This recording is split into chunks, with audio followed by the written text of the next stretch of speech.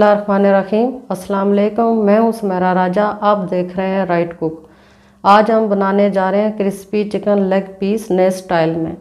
इससे पहले कि हम शुरू करें, आपसे गुजारिश है वीडियो को लाइक करें, लिंक शेयर करें, चैनल को सब्सक्राइब करें और बेल का बटन ज़रूर दबाइए, ताकि बर वक्त आप तक अगली वीडियो का नोटिफिकेशन पहुँच सके। तो आइए शुरू करते हैं। ये हमने आलू लिए हैं, तकरीबन पाँच आलू हैं, दरमियाने साइज़ के हैं। और ये लेग पीस है, ये भी एक किलो है, तकरीबन पाँच, एक हज़ार ग्राम है।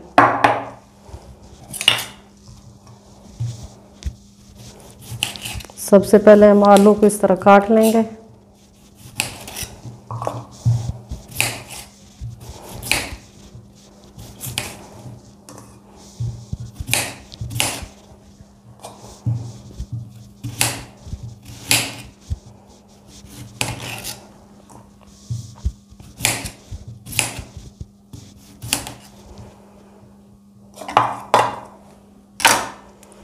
ये आलू हमने बॉयल करने हैं। इसके लिए हमने एक बर्तन लिया उसमें।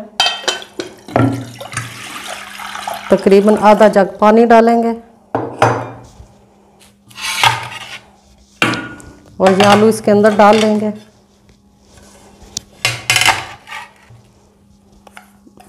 ये तकरीबन थोड़ा सा नमक डालना है हमने, आधी चम्मच। इसको हम चूल्हे पर चढ़ाएँगे।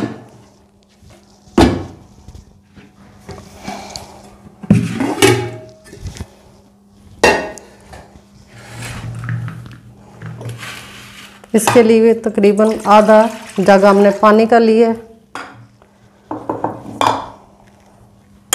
और ये लेग पीस इसमें डाल देने ये भी हम बॉयल करेंगे।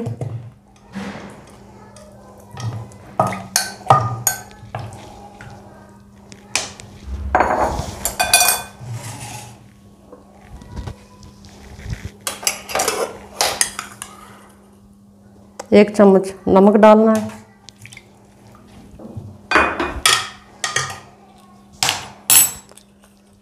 ये दालचीनी है, एक पीस ये डालना है। ये बादन के फूल है, ये एक बड़ी इलायची है। ये थोड़ा ज़ीरा है और ये काली मिर्च है साबुत।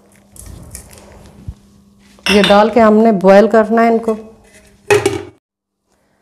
आलू और लेग पीस जो हमने बॉयल करने के लिए रखे थे, वो बॉयल हो चुके हैं। और मैंने, ये देखें, ये इस तरह इसके ऊपर से सारा गोश्त मैंने उतार लिए। तो ये जो नीचे है लेग, इनको हमने हड्डी को फेंकना नहीं है, ये इसी तरह रखना है हमने। फिर आगे मैं बताऊँगी कि इनका क्या हमने करना है। ये देखें, ये इस तरह, ये सारा हमने उतार लिया ये जो आलू बॉयल किए थे ये भी अच्छी तरह बॉयल हो गए हैं। बस इनको भी अंदर इसी तरह मैश करना है। ये हरा धनिया है।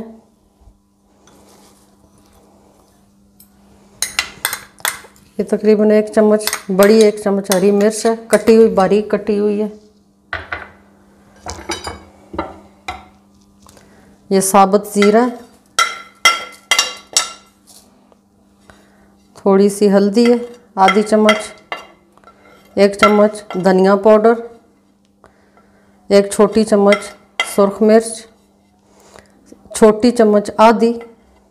नमक ही ये, नमक हमने पहले भी डाला हुआ है, इसलिए ध्यान करना है कि ये ज़्यादा ना हो जाए। और एक चम्मच ये काली मिर्च है।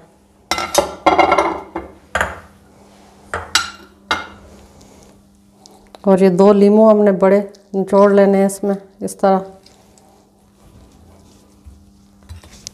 अच्छी तरह हाथों से इसको मैश कर लेना। ये हमारा मसाला जो चिकन और आलू का था, अच्छी तरह मैश हो गया। ये देखें ये देखें, इस तरह इसके रेजे रेशे बनने चाहिए। ये जो गोश्त है इसके, बड़े पीस नहीं रहने चाहिए। ये चावल का आटा लिया मैंने, राइस फ्लोर है। ये ब्रेड क्रम्स हैं। ये जो ब्रेड क्रम्स हैं, इनमें भी हमने थोड़ा सा नमक और तकरीबन आधी चम्मच इसमें हमने काली मिर्च डालनी है। ये चावल का आटा है, इसमें भी हमने नमक और काली मिर्च डाली है। इनको इस तरह मिक्स कर लेना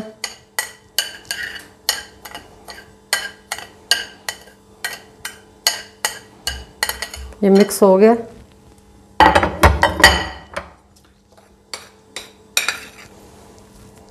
सबसे पहले हमने ये आयल लिए अपने हाथों को आयल लगाएँगे।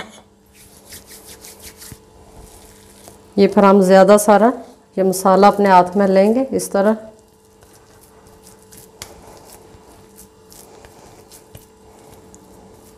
ये देखिए।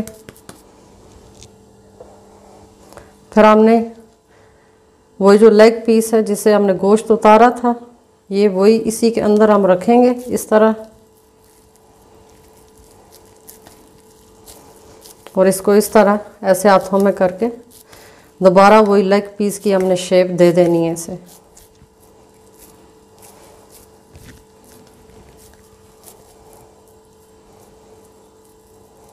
देखें, यहाँ से भी इसी तरह कर देना।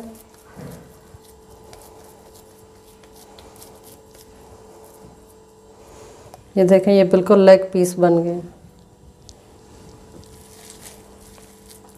बाकी सारे भी हमने इसी तरह बना लेने फिर हम फ्राई इसको करेंगे। ये सारे तैयार हो चुके हैं। अब हमने अंडे फेंटने अंडे थोड़े ज़्यादा लेने इसमें थोड़ा सा नमक डालना है। चौथाई चम्मच।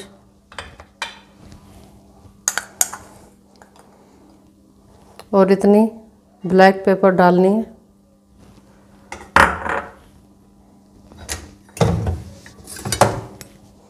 और फिर अच्छी तरह इनको फेंट लेना अंडे भी हमने फेंट लिए बिस्मिल्लाहिर्रहमानिर्रहीम ये सबसे पहले ऐसे चावल का आटा लगाना है इसको।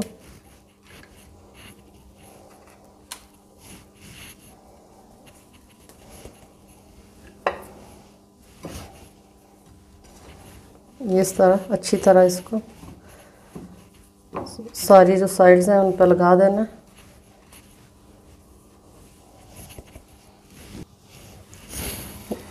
ये देखें, एक तय हमने ये राइस फ्लोर की लगा दी है। तो अगर हमने और ज़्यादा इसको मोटी तय करनी है तो ये पानी एक बॉल में लेंगे। उसमें ये इस तरह डिप करेंगे और फिर दोबारा इसको ऐसे फिर आटा लगाएँगे। ये देखें जो इसकी तय जो है मोटी बन जाएगी। ये सारे हमने इसी तरह करने हैं। ये डबल तय लग चुकी है तो अब हम इसको अंडे में डिप करके तो फिर ब्रेड क्रम्स लगाएँगे। ये देखें।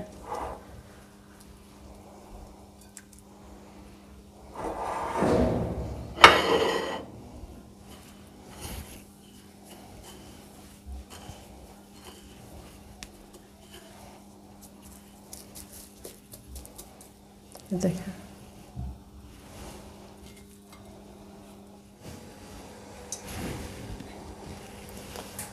देखें ये, हमने ब्रेड क्रम्स भी लगा दिए अब देख कितनी अच्छी शेप आई है इस पर ये देखें। अब हम इन्हें डीप फ्राई करेंगे। आयल मैंने पहले से रख दिया था गर्म होने के लिए और हमारा आयल जो है वो गर्म हो चुका है। हीट हमने ज़्यादा तेज़ भी नहीं करनी। और बहुत स्लो भी नहीं रखनी। ये चेक करते हैं ये देखें।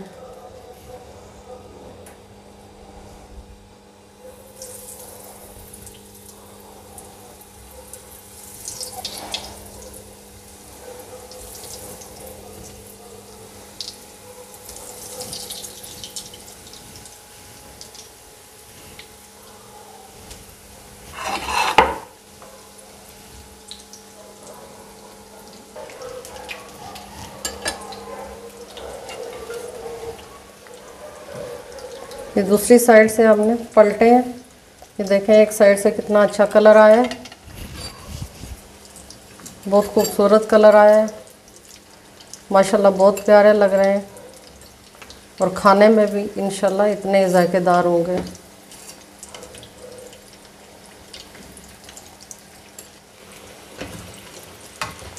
ये पक चुके हैं, अब हम इनको निकाल लेते हैं।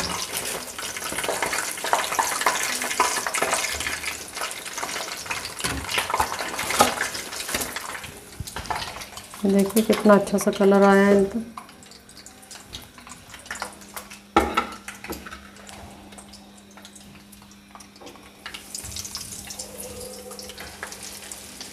जब ये ऑयल में डालें आप, फ़ौरन इनको चारों तरफ़ से ऑयल में, अगर ऊपर से थोड़े ऑयल से बाहर हो तो इनको अंदर करना है, क्योंकि चावल का आटा है तो वो फट जाता है। ये देखें। और डीप फ्राई करने हैं ये। ये सारे हमारे लेग पीस तैयार हो चुके हैं। देखिए कितना अच्छा कलर आया है इनका। और इनका जायका भी बहुत ज़बरदस्त होता है। अल्हम्दुलिल्लाह लेग पीस हमारे तैयार हो चुके हैं। बहुत मज़े के बने हैं तो आप ज़रूर ट्राई कीजिएगा। आज की रेसिपी इतनी थी, उम्मीद है आपको पसंद आएगी। मिलते हैं जल्दी नई किसी रेसिपी के साथ। तब तक के लिए इजाज़त है अल्लाह हाफिज़।